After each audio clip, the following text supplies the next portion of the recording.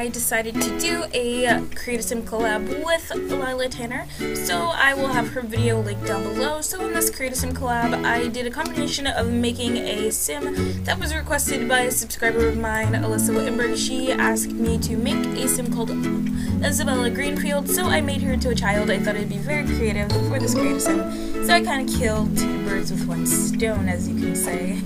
So um, I think she turned out really cute, and um, the theme for this um, collab was Disney inspired, and I try to do as much Disney inspired as I can. She, um, Lyla actually had more uh, Disney inspired stuff than I did. I didn't have much Disney inspired clothing, but I did try my best for her everyday wear. I think I did a little bit of like a Minnie Mouse theme for her, and um, yeah, I think it turned out really great. She's so cute. I love her so much.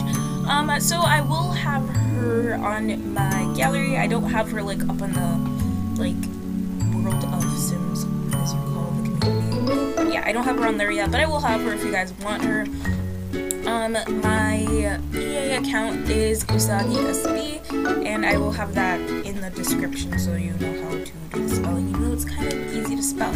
So yeah, I'm going to be wrapping this voiceover right here, and just go and enjoy the rest of the video, and I'll see you guys later. Bye.